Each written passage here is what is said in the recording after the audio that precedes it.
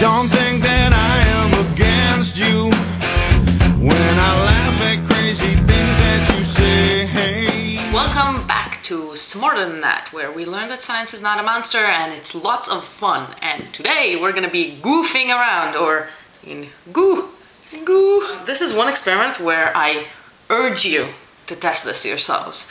It's just cornstarch and water, and maybe a little bit of mopping afterwards. Please do it yourselves. This is the best way to learn, and this one is so much fun that you won't regret it.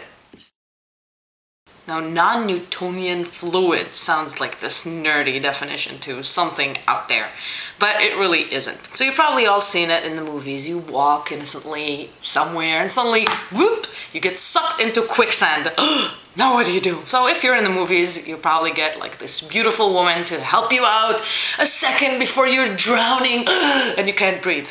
It's lovely, but what happens if it really happens in real life? So the solution to that is don't make sudden movements. No, it's not like with animals, it won't bite you.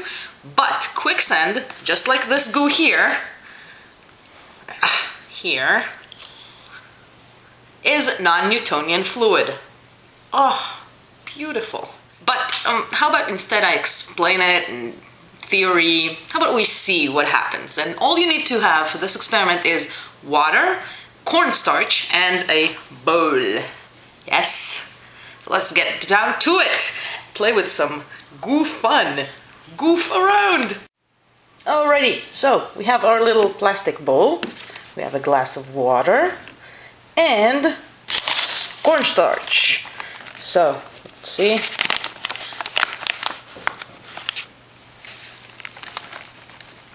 There we go. We put some cornstarch in here. As you can see, it's powdery and it's very sticky.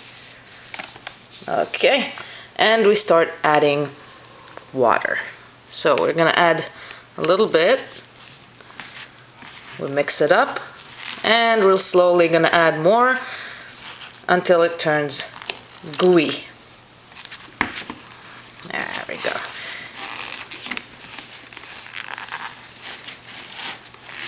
Mix in. Now this is a tricky also because when you try to mix it, it turns into a solid. It's really hard to mix. But slowly, with a little bit of patience and not a lot of force, like the stronger you pull it or push it or press into it, it's harder. It gets harder. You see? Up. You see this? If I push it, that's it. Gets solid. And this is the cool thing about this fluid, this non-Newtonian fluid.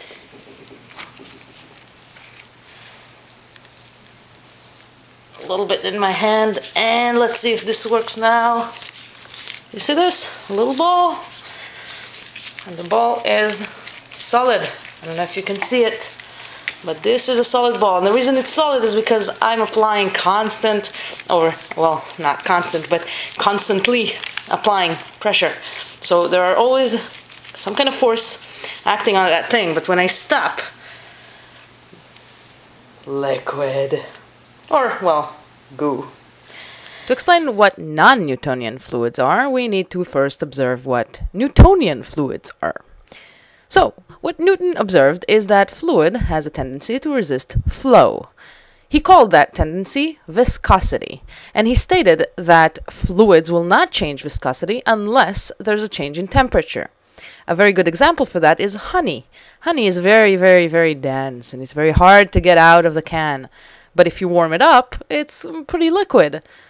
Ketchup is another example. How many times did you sit in front of a bowl full of french fries and you tried and tried to get that ketchup out of the bottle? Of course, unless you're like me and you tried so many times that the waitress just gave you one in a bowl. But regardless, these are Newton rules, and Newton is fairly correct. But just like anything in science, there are exceptions, and those exceptions are non Newtonian fluids.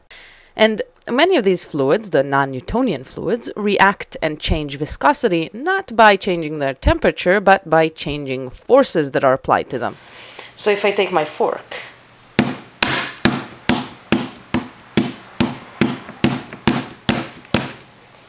but if I just leave it there, cornstarch inside and water. And what happens is the cornstarch doesn't melt inside the water. You have little particles of cornstarch and particles of water inside swimming around. When I push, particles of cornstarch are pushed inwards and they trap water inside and they have nowhere else to go, so it turns solid. But when I let go, both particles are free to move around and it reverts back to being liquid. So the next time you walk around and suddenly you fall into a pit of quicksand, don't make quick movements. The harder you move, the worse it'll catch you. Make slow movements and try to climb up. But I seriously recommend not falling into quicksand because it's very bad. Isn't science just lovely?